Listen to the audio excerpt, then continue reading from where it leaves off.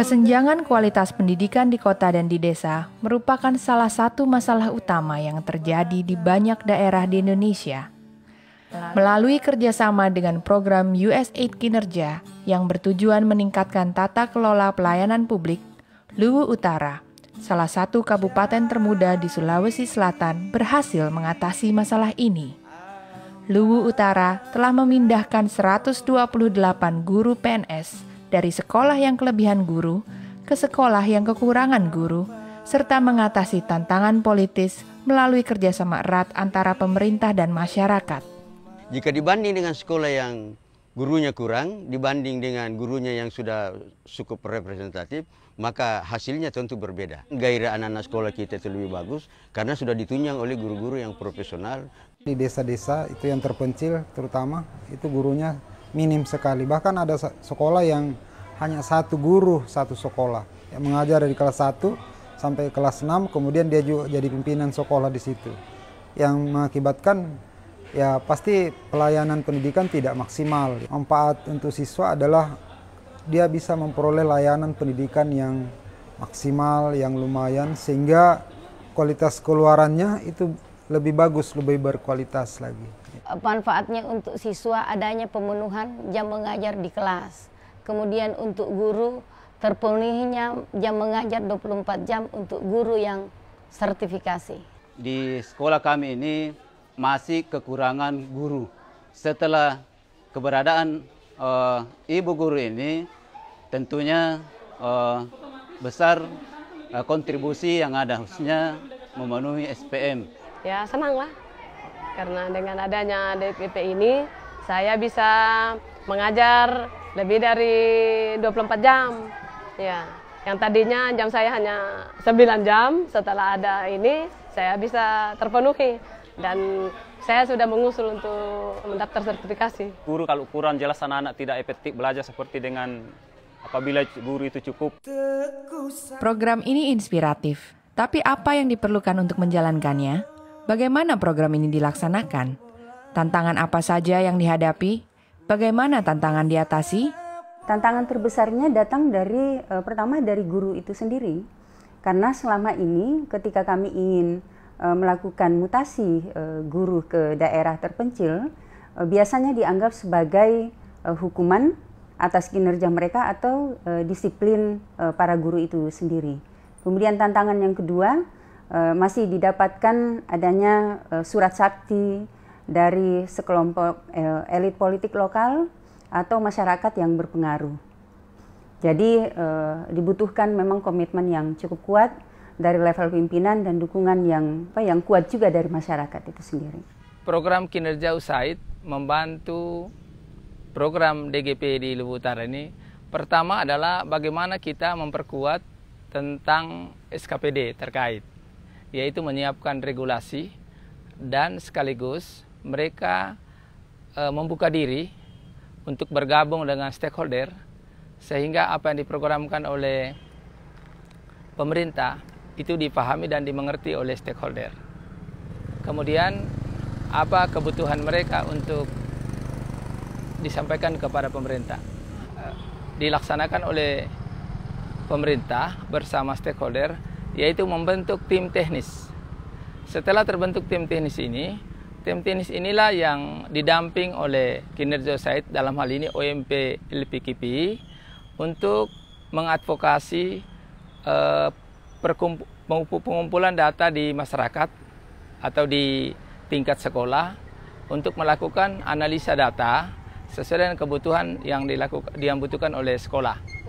Sebelumnya itu kami tidak memiliki data yang akurat, tetapi dengan adanya data dari LPKP itu menjadi dasar untuk kami untuk melakukan mutasi untuk ke sekolah. Melibat unsur Pemda, melibatkan unsur masyarakat, melibatkan unsur organisasi. Jadi uh, yang kami lakukan adalah memfasilitasi, uh, mempertemukan masyarakat dengan pemerintah itu sendiri dan itu juga kami lakukan dengan model uh, model diskusi model dialog uh, dan ini juga disiarkan melalui uh, radio lokal dan TV lokal yang ada di Lu Utara. Partisipasi masyarakat menjadi penting karena kita ketahui bahwa pemberian pelayanan pendidikan yang berkualitas ini kan harus melibatkan dua sisi. Dari sisi pemberi layanan, ya, dalam hal ini pemerintah dan dinas terkait. Yang kedua, uh, dari sisi penerima layanan, dalam hal ini masyarakat. Oleh karena itu, kami berharap dengan adanya pelibatan masyarakat secara aktif, mereka mampu mengawal program ini sekaligus tadi menjaga komitmen dan konsistensi di dalam pelaksanaan program itu sendiri. Eh, pemerintah daerah memang melibatkan MSF di dalam monitoring dan evaluasi. Hal ini dimaksudkan supaya kami mendapatkan informasi yang berimbang. Kemudian di sisi lain, pemerintah juga melakukan monitoring dan ternyata sejauh ini alhamdulillah ya berdua keduanya berdampingan. Jadi yang kami lakukan adalah itu um, melalui proses wawancara dengan guru-guru yang 128 orang ini yang sudah dipindahkan. Uh, selain guru-gurunya, kami juga wawancara kepala sekolah di sekolah tersebut, kemudian juga mewawancara uh, masyarakat di sekitarnya. Bagaimana dampak dari uh, program uh, DGP ini?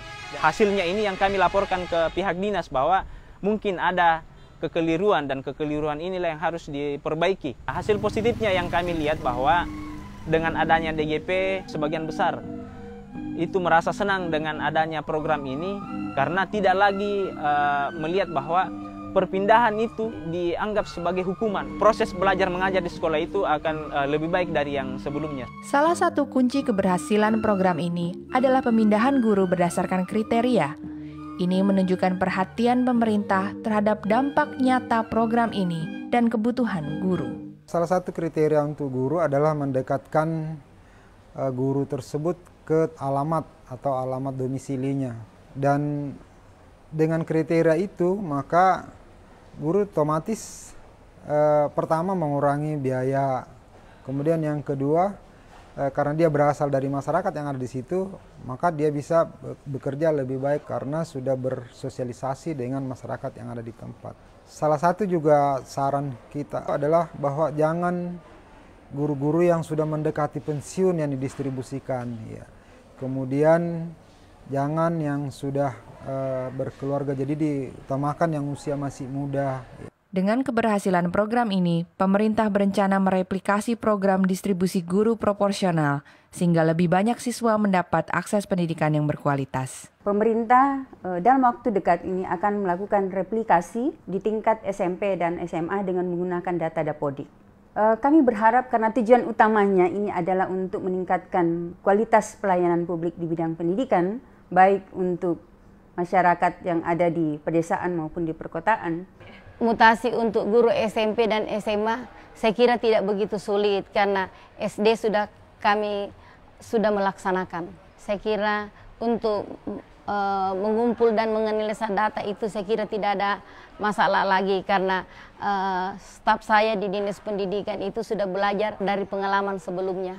Dan uh, apa yang kami lakukan adalah uh, terus mensosialisasikan kepada uh, masyarakat. Program ini kami sampaikan bahwa program seperti ini uh, itu patut kita dukung bersama dan juga yang akan kami lakukan adalah bagaimana mendorong peraturan bupati tentang DGP ini itu menjadi sebuah perda. Program ini bukan kemauan saya sendiri, tetapi program ini adalah kemauan seluruh lapisan masyarakat yang diwakili oleh para stakeholder. Siapa pun yang jadi bupati nanti program pendistribusian guru ini akan akan lestari dan akan kekal untuk selama-lamanya. Karena ini untuk kepentingan anak didik kita di kemudian hari.